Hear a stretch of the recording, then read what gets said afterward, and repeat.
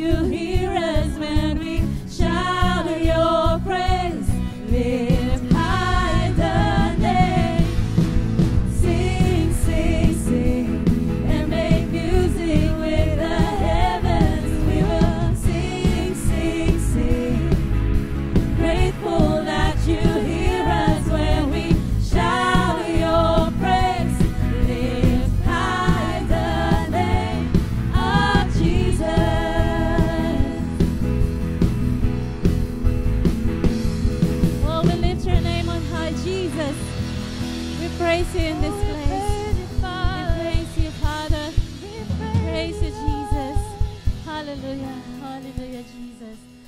just want to share with you a verse from um, 1 Peter chapter 1 verse 3 it says Praise be to the God and Father of our Lord Jesus Christ. In his great mercy he has given us new birth into a living hope through the resurrection of Jesus Christ from the dead. Isn't it amazing to know that we have a living hope that we depend on every day every day of our lives? So we just sing praises to God. And we just honor him today. We honor him for, for everything that he has done on the cross, for the blood shed on the Calvary.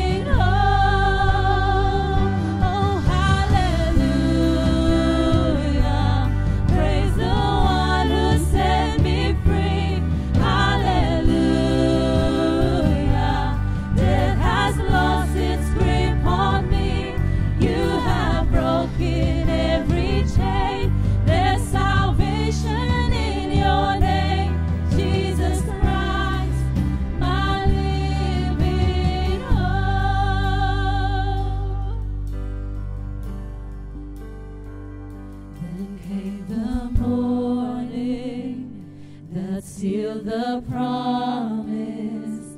You're buried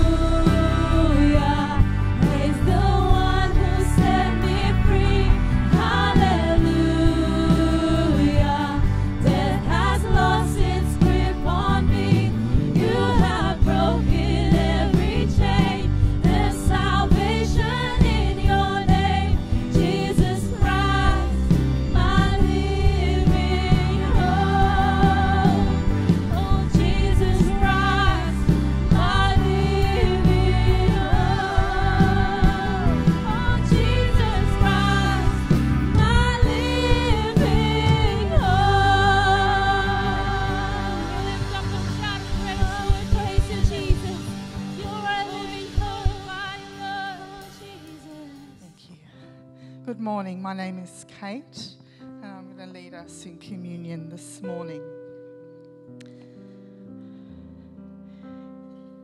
In John chapter 6, Jesus addresses the crowd that was following him. From verse 32, it says, Jesus then said to them, Truly, truly, I say to you. You know, it's something important when he says, Truly, truly, I say to you. It was not Moses who gave you the bread from heaven, but my Father gives you the true bread from heaven. For the bread of God is he who comes down from heaven and gives life to the world.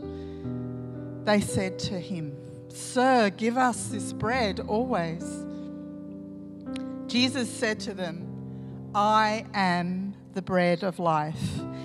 Whoever comes to me shall not hunger, and whoever believes in me shall never thirst. And further along in the same passage, again he says, Truly, truly, I say to you, whoever believes has eternal life. I am the bread of life. Your fathers ate manna in the wilderness, and they died. This is the bread that comes down from heaven, so that one may eat of it and not die. I am the living bread that came down from heaven. If anyone eats of this bread, he will live forever. And the bread that I will give for the life of the world is my flesh. So he's speaking to the crowd. This is after he has fed the 5,000 with five barley loaves and two fish. And so they're following him and they're all looking for him. And he knows that they're looking to him to, to meet their physical needs. And then Jesus responds with this powerful and profound truth I am the bread of life.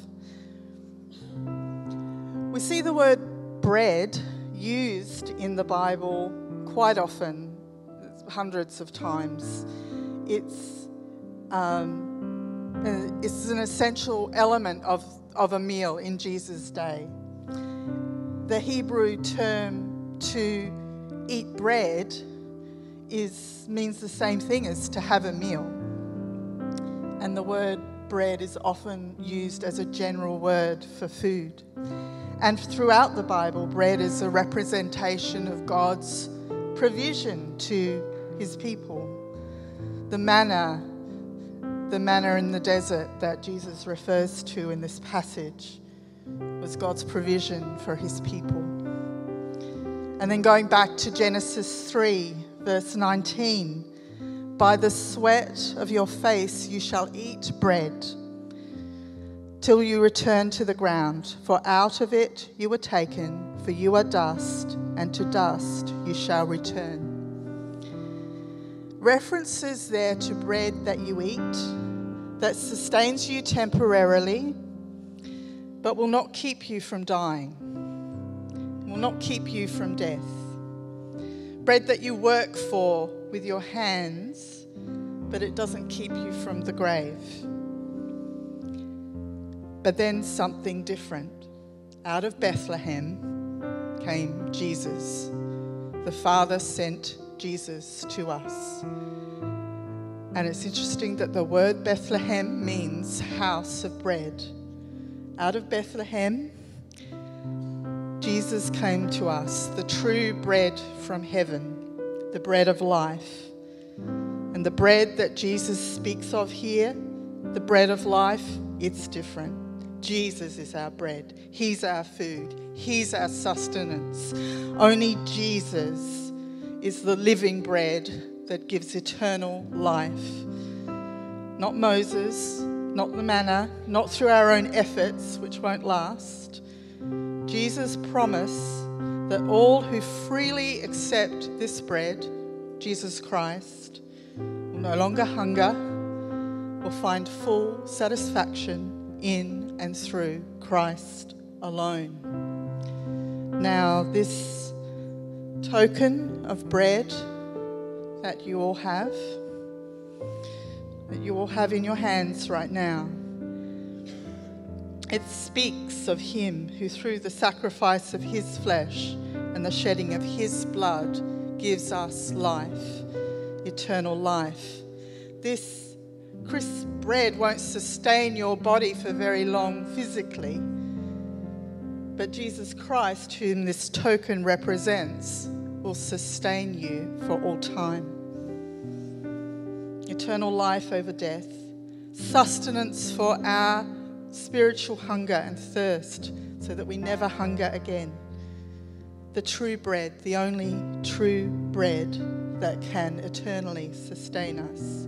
Nothing else sustains us. We might seek other things in this life, like looking for the manna in the desert, but they don't satisfy for long. Only Jesus is the bread that feeds us and sustains us and keeps us and completes us for always. So, this communion this morning, this communion that you hold in your hands, let us reflect on it as we sit there quietly reflect on how we have sought to feed our spiritual hunger. With what have we tried to fill the hunger in our spirit? Have we satisfied ourselves with the bread of life? Or have we been looking for other forms of sustenance? It's a bit like consuming junk food, you know. You, you know the things that you've propped yourself up with that last for a little while, but don't last eternity. Maybe you've allowed other things to get in the way of your relationship with Him, like a job, friends, or problems that you've focused on instead of keeping your eyes on your Lord.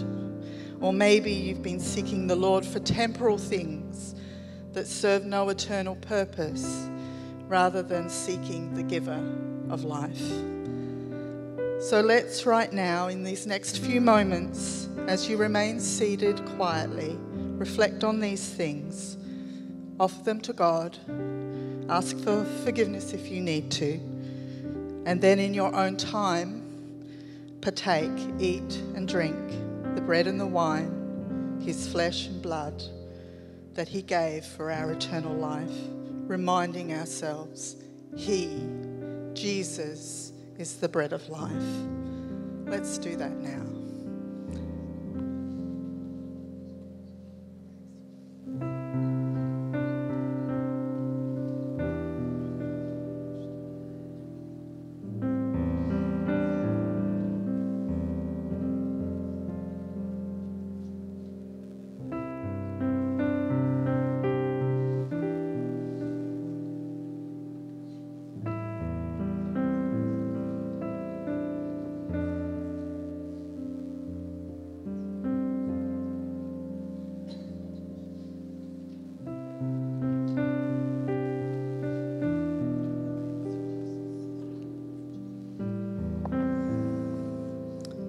Thank you, Lord.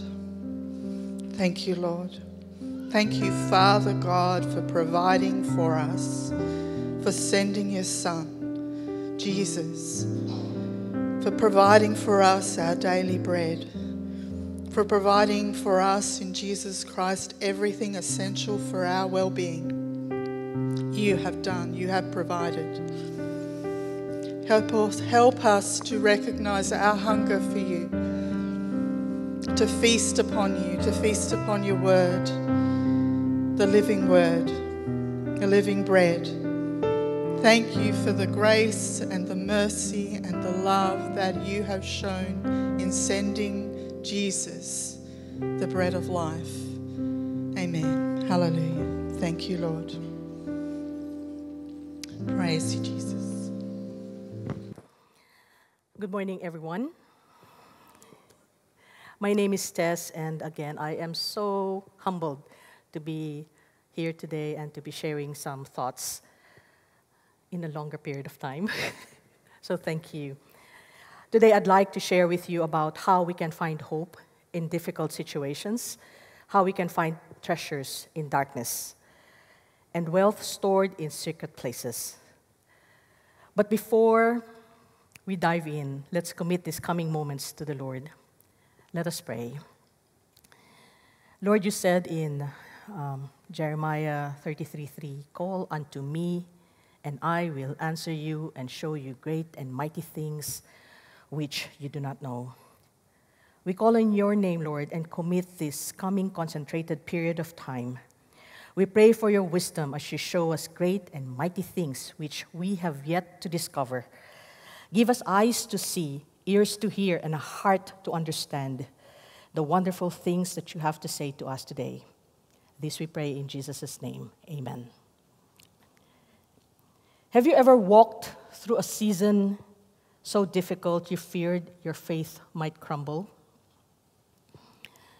For the last several years, especially recently, we've witnessed suffering and pain in a global scale with everything that is happening around us, especially with a pandemic which has superseded other worldwide events. We have seen sufferings in all levels physical, relational, emotional, psychological, financial, economical sufferings, to name a few, as well as the threat of the disease and even death. All of us here have been affected one way or the other. Overall, 2020, 2021, and 2022 have been extremely painful and emotional times for everyone. Apart from this pandemic, we also deal with other major issues. Cancer ravages families. A diagnosis of a debilitating disease can devastate loved ones. Divorce shatters everyone involved. Pain pulls us down.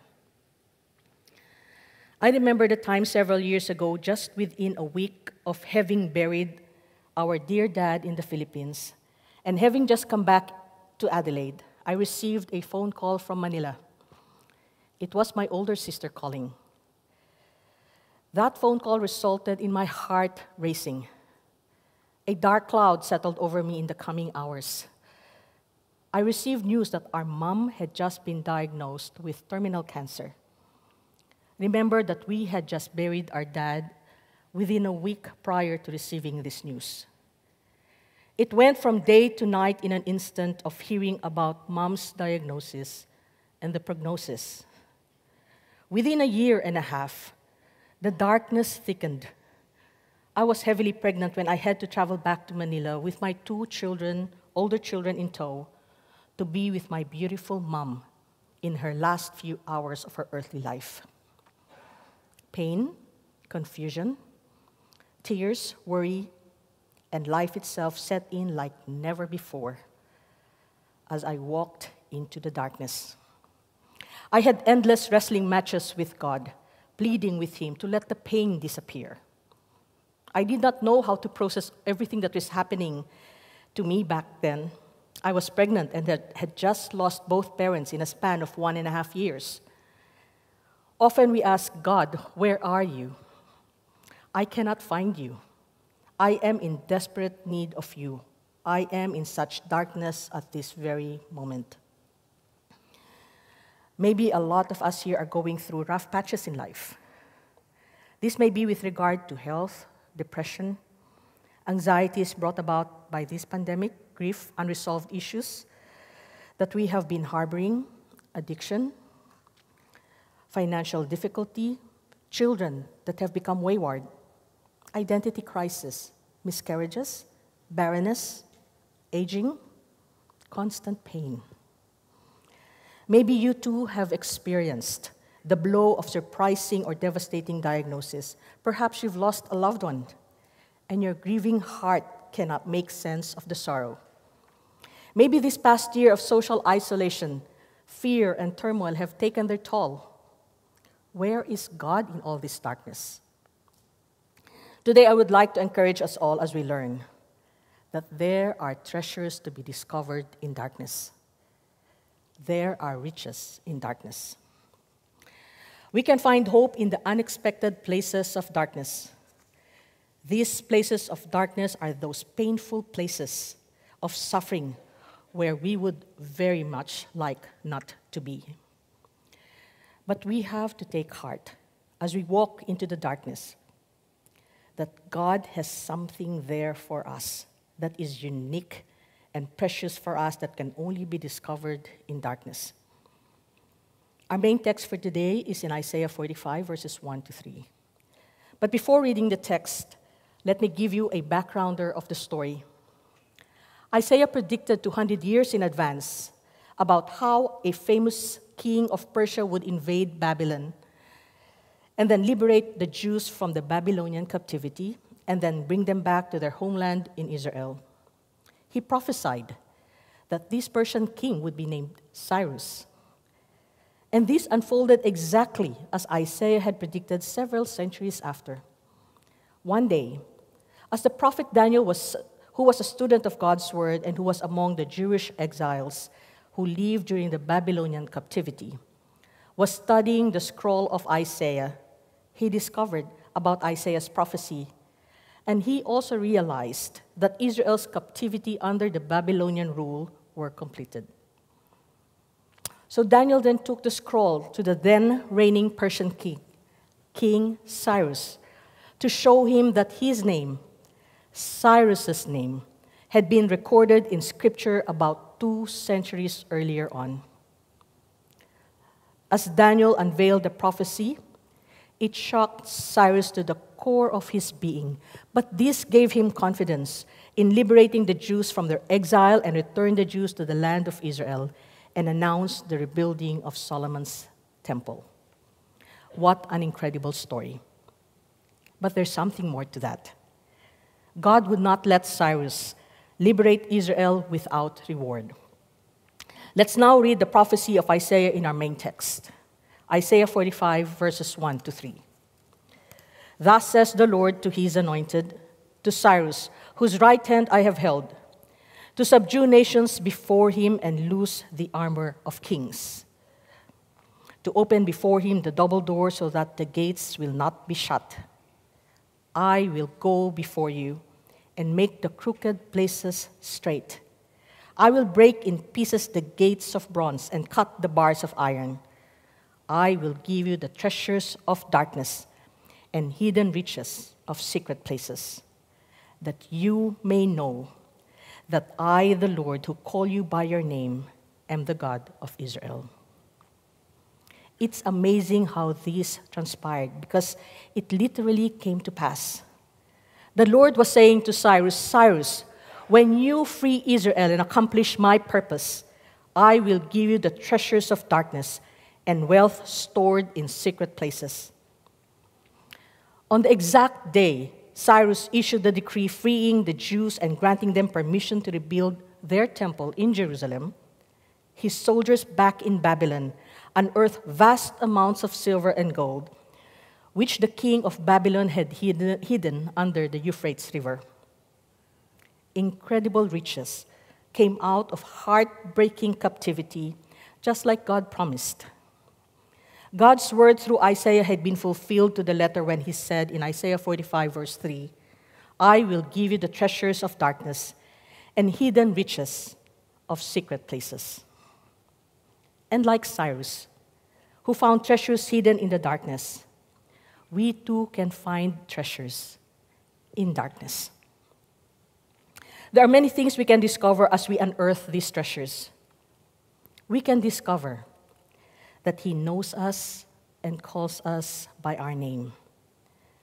The Lord said to Cyrus in Isaiah 45, verse 3, that you may know that I, the Lord, who call you by your name, am the God of Israel. This great God, the God of Israel, the awesome God, the creator of the heavens and the earth, is the one who summons us by our name. And there's nothing more personal to us than our names. He knows us intimately. Our God knows us intimately. He, and He calls us by our name. 1 Corinthians 13 12 says, Now we see but a poor reflection, then we shall see face to face. Now I know in part, then I shall know fully, even as I am fully known we are fully known to God. There's nothing more intimate than being fully known by our God. He knows everything in us, all our uniqueness, our weirdness, our weaknesses, what makes us laugh, and what makes us cry.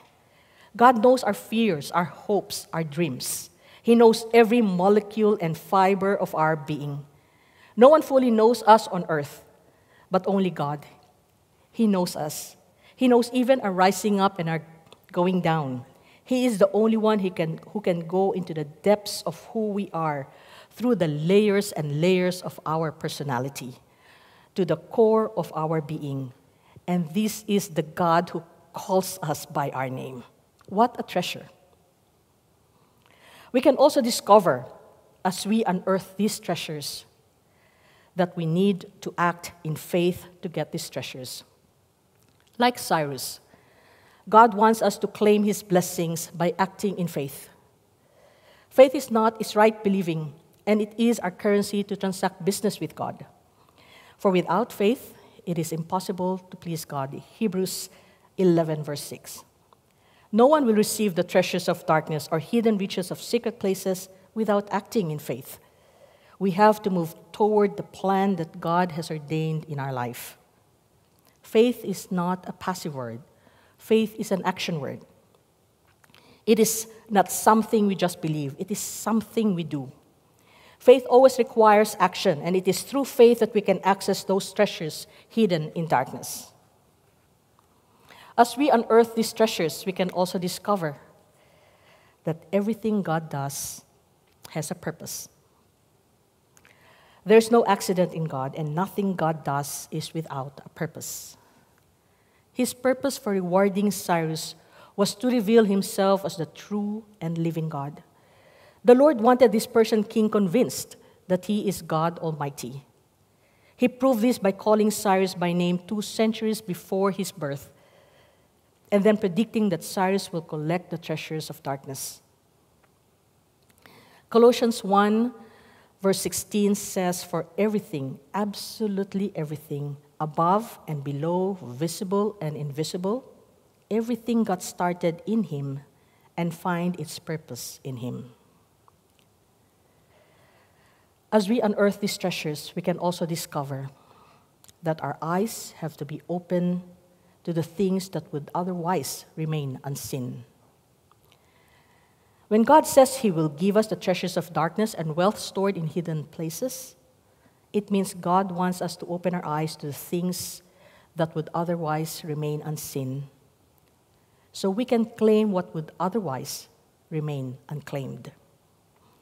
Ephesians 1:18 verse 19 says, I pray that the eyes of your heart may be enlightened, in order that you may know the hope to which he has called you, the riches of his glorious inheritance in his people, and his comparably great power for us who believe.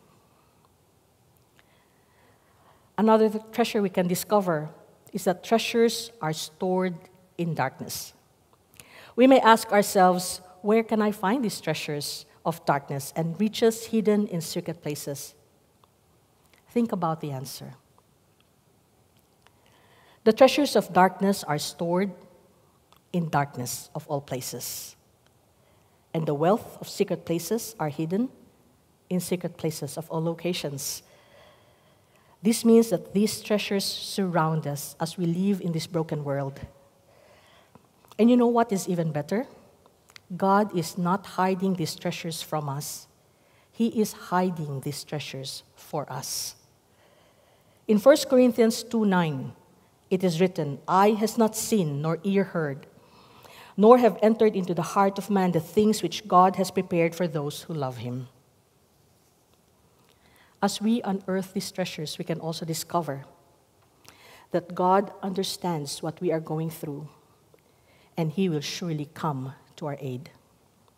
This applies to every hurting person, every broken person, just like you and me, regardless of who we are, irrespective of how bleak or unrighteous our past was, because He knows that life is difficult for everyone at times, that pain is a regular companion for many, that Christians are not exempt from affliction and that we would constantly need His help to survive our ordeals in life. Like the Israelites, we long for safety, for security, for satisfaction, and we long for abundance. But instead, we endure unfair and unnecessary hardships, most of which are beyond our control. We live with stress, with sorrow, with uncertainty, because we live in a damaged world. However, we see evidence of His power and grace everywhere. And we can believe that God will come through for us. God responds to our faith in Him by helping us endure our afflictions and by producing goodness from them. We are not only assured that God will come to our aid, but God will surely come to our aid. We have the promise in Psalm 46 1, which says, He is our very present help in times of need. As we unearth these treasures, we can also discover that God has invaded and has complete control of darkness. There are so many other verses that talk about darkness. How we who dwelt in darkness have seen a great light. How Jesus prayed in the dark repeatedly how the darkness has not overcome the light. Light dispels darkness. So, wherever and whenever there is darkness, let us allow the entrance of light. Isaiah 60, verse 2 even says, For behold, the darkness shall cover the earth, and deep darkness shall cover the earth, and deep darkness for the, for the people. But the Lord will arise over you, and his glory will be seen upon you.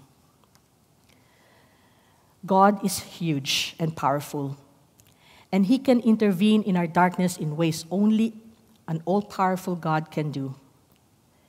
You can probably talk about amazing stories of how God has intervened through tough times just when you thought there was no hope or restoration or salvation. Another thing we can discover as we unearth these treasures is that it is okay if others do not understand what we are going through. This was another treasure I discovered during the first couple of days of mom passing on.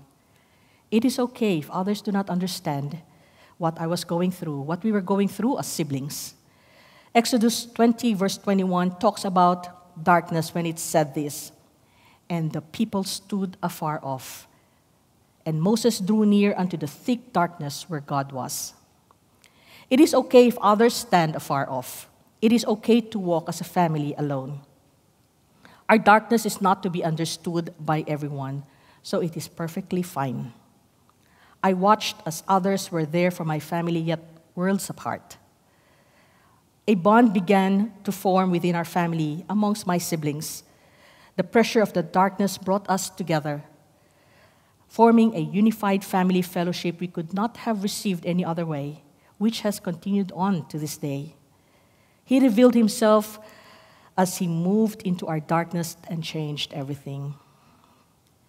Isn't it such a joy to know of God's hand of grace at work in the midnight hour in the lives of his people? Another thing we can unearth, another thing we can discover as we unearth these treasures is that we can worship him in the darkness. Drawing from my personal walk, when I wake up each morning, and step out of bed, I flex my neck, my back, my wrists, my ankles, my knees. And I try moving them to test them. My question each day is Would I be able to move comfortably today? Where else would I have pain, and how bad would it be? No, I'm not injured. I have been diagnosed with rheumatoid arthritis. Medically speaking, it's treatable, but not curable. And I have pain every day, sometimes mild and manageable, sometimes severe and unmanageable. But where do I turn when it seems that life is a pain, however that pain manifests? As a Christian, the easy answer is to turn to God. But how do I do that when the very circumstances I am in seem to contradict what I've heard about God? But from this message about riches in darkness, it gives me more hope that I need to not only endure trials, but to know that I can worship God and glorify Him through this condition. He knows me by name and notices every detail of my life. He is in control and He has a plan for me and for you. The God who calls us by name has hidden riches in our suffering and pain. He can intervene in our darkness, and He will be close to us in that darkness. This should lead us to praise Him. What we know about God leads us to worship Him. When Job lost everything that mattered to him, he worshiped because of what he knew to be true of God. Job 1 20, 21 relates to us that Job stood up, tore his robe in grief, and shaved his head. Then he fell to the ground and worshipped. He said, Naked I came from my mother, and naked I will return. The Lord has given, and the Lord has taken away. May the name of the Lord be praised. Even as Job lost everything, what he knew about God caused him to fall on his knees and say, God, I don't know what's going on, but I understand you've given and you've taken away, and I praise your name. As we unearth these treasures, we can also discover that God is our treasure in darkness. He is the, our treasure in darkness. Proverbs 25 2 says, It is the glory of God to conceal a matter, but the glory of kings is to search out a matter. God is not playing hide and seek with us. His intention is that as we seek Him, we may not only find his hand of provision, but we may find him our great provider. Paul's longing in Philippians 3:10 was that I may know him and the power of his resurrection. He is our treasure in darkness. God is always with us in the darkness that we go through in life. Remember what he said I will never leave you nor forsake you. I will be with you to the uttermost part of the earth. Nothing can separate us from the love of God. He was the treasure I discovered as my siblings and I walked into the darkness of uncertainty. God was already there, and He was with us all along. When it comes to dark times, we come to realize that our greatest treasure is God. Then all the other treasures follow. There is no treasure in darkness without God. It is necessary that God be first in all things, including the first to be discovered in darkness. God, already being in the darkness we were facing, made facing the darkness possible for us. Without His presence, I would have collapsed under the pressure of the blackness. Thank God He is there all along in our darkness before we even get into it. Can I please ask the musos to come back up? Thank you. Are you experiencing a time of darkness in your life? The challenge for us today is to believe God, that treasures actually exist in darkness. In the difficult times of our lives, in challenging situations, that these treasures can be found and that they are accessible for us. These treasures are worth seeking, and they are treasures from God that can only be found in those places of our deepest pain and the deepest, deepest hurt that we have. Think about your experience and ask God to reveal His riches to you in the midst of the darkness. Let's pray to God to help us understand the darkness, our need for Him to be with us, and our need for Him to lift us out. Acts 17 27 declares, So we could see after God and not just grope around in the dark, but actually find Him. He doesn't play hide and seek with us, He is not remote, He is near. This week, let's reflect with our small group, our close friends, how these moments help, to, help us understand how God helps us through our time of darkness. What we know leads us to worship Him. Job, after he went through all the difficult times in his life, found riches in darkness. Job 42:5 declares, I had only heard about you before, but now I have seen you with my own eyes. Friends in Christ, there are riches in darkness.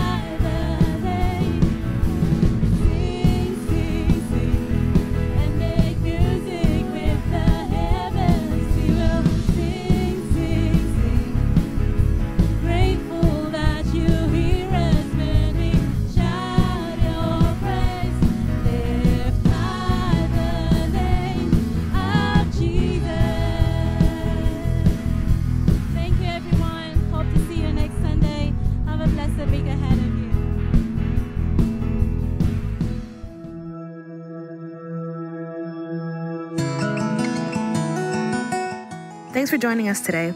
Feel free to check out our website, adelaideChristianCentre.com.au, or our church app to find out more information about us, learn how to give online, and all our upcoming events.